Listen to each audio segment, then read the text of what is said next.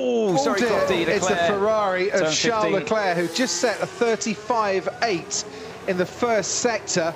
And not for the first time here in Baku, Charles Leclerc pushing, pushing hard, setting fastest sector times and ending up in the barrier. Unlike that Q2 crash, he's been able to reverse out here at turn 15 and he should be able to limp back to the pits and leave his front wing where it's embedded itself into the TecPro barrier. But you'd have to say that's ruined the laps of the others coming up that were behind on the new set of Here we soft go, tyres as well. have a look. Verstappen, Hamilton. Oh. Yeah, just that lock up. Like I said, that barrier is staring at you into there, and you need to try and brake as late as you can. There's lap time to be found there, but it's exactly what we were talking about before, John. You have to be quick thinking inside the car to go, I'm not going to make this, and then abort and go down the escape road.